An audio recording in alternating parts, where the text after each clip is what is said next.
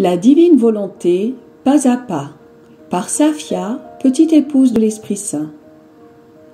La Reine du ciel, dans le royaume de la volonté divine, à Luisa Picaretta. Prière quotidienne à la Reine céleste. Au nom du Père qui m'a créé, et du Fils qui m'a racheté, et du Saint-Esprit qui me sanctifie. Amen. Fiat volontas tua. Reine immaculée, ô céleste maman, en ce mois qui t'est consacré, je me place sur tes genoux maternels, m'abandonnant entre tes bras comme ton enfant chéri, et te demandant avec véhémence la plus grande de toutes les grâces, celle que tu m'admettes à vivre dans le royaume de la divine volonté. Sainte Maman, toi qui es la reine de ce royaume, permets que je vive en tant que ton enfant, que ce royaume soit rempli de tes enfants, je me confie à toi afin que tu y guides mes pas, et que, soutenu par ta main maternelle, tout mon être vive constamment dans la divine volonté. Tu seras ma maman.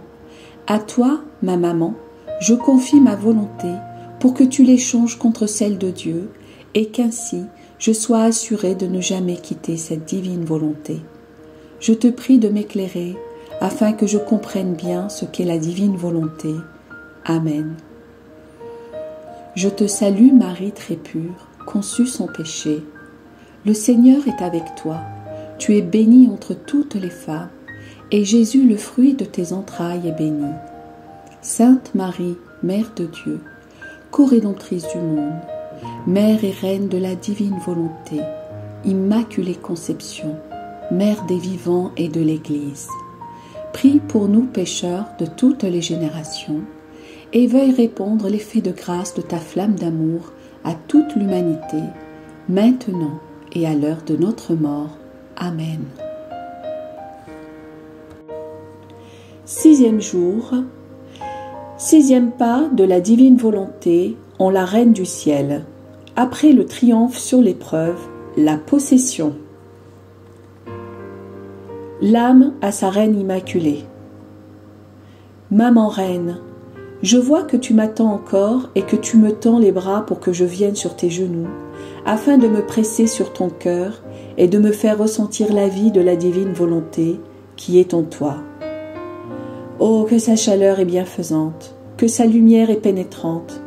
Sainte Maman, puisque tu m'aimes tant, plonge le petit atome que je suis dans le soleil de la divine volonté qui est en toi. Que moi aussi je puisse dire Ma volonté n'a plus de vie, ma vie est la divine volonté. Leçon de la Reine du ciel. Ma fille bien-aimée, aie confiance en ta maman et sois attentive à ces leçons qui t'aideront à avoir en horreur ta volonté personnelle et à désirer ardemment que celle de Dieu prenne toute la place en toi, comme cela est son souhait le plus ardent. Ma fille, c'est seulement après que j'eus surmonté l'épreuve à laquelle j'étais soumise par la divinité que celle-ci se trouva assurée de ma fidélité.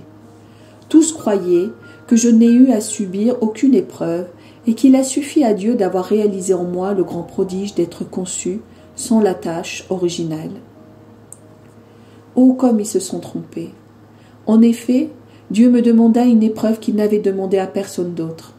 Il fit ainsi, avec justice et sagesse, car comme le Verbe éternel devait descendre en moi, il aurait été inconvenant qu'il trouve en moi la faute originelle. Il aurait été tout aussi inconvenant qu'une volonté humaine opère en moi.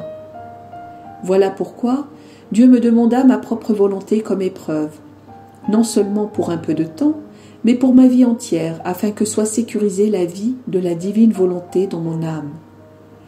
Une fois cela réalisé, Dieu pouvait accomplir en moi tous ses désirs selon sa convenance. Il pouvait tout me donner, et je peux le dire, il ne me refusa rien. Au cours de mes leçons, je t'expliquerai ce que la divine volonté fit en moi. Pour l'instant, reprenons à l'endroit où nous en étions.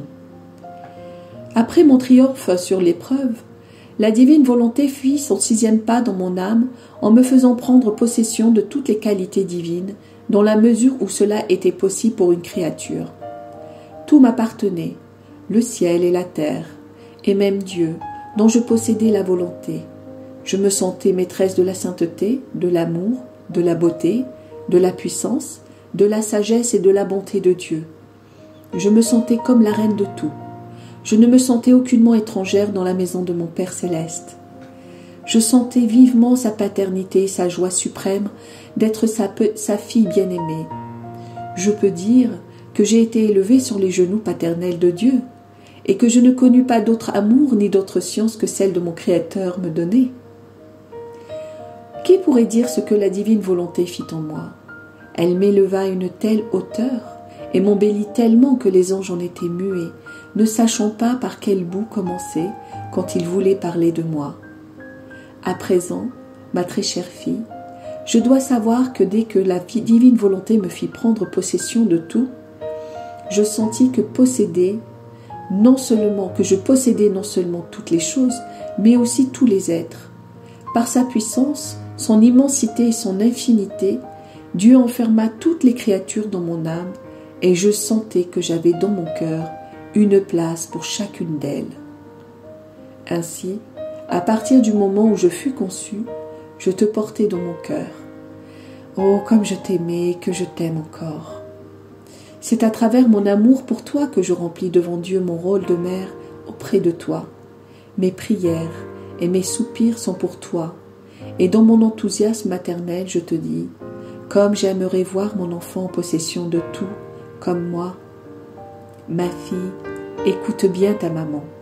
Renonce totalement à ta volonté humaine. Si tu fais ainsi, tout sera comme en commun entre toi et moi. Tu auras la force divine à ta disposition pour toi, tout sera converti en sainteté, en beauté et en amour divin.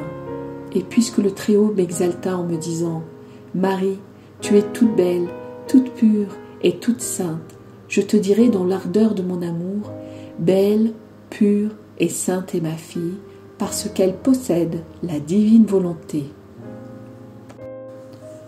L'âme a sa reine immaculée. Reine du ciel, moi aussi je veux te saluer. Toute belle, toute pure et toute sainte est ma céleste maman. Et si tu as une petite place pour moi dans ton cœur, je t'en prie, enferme-moi en son intérieur, et ainsi je serai certaine de ne jamais faire ma volonté, mais toujours celle de mon Dieu. Et nous serons heureuses toutes les deux, mère et fille. Petite pratique. Aujourd'hui, à trois reprises, tu réciteras en mon honneur trois gloires au Père, pour remercier la très sainte Trinité d'avoir établi en moi le royaume de la divine volonté et de m'avoir ainsi donné possession de tout. De plus, en faisant tienne les paroles de l'être suprême à mon endroit, tu me diras après chaque gloire au Père, toute belle, toute pure et toute sainte est ma maman. Oraison jaculatoire. Reine du ciel, Fais que je sois totalement habité par la divine volonté. Amen. Fiat voluntas tua.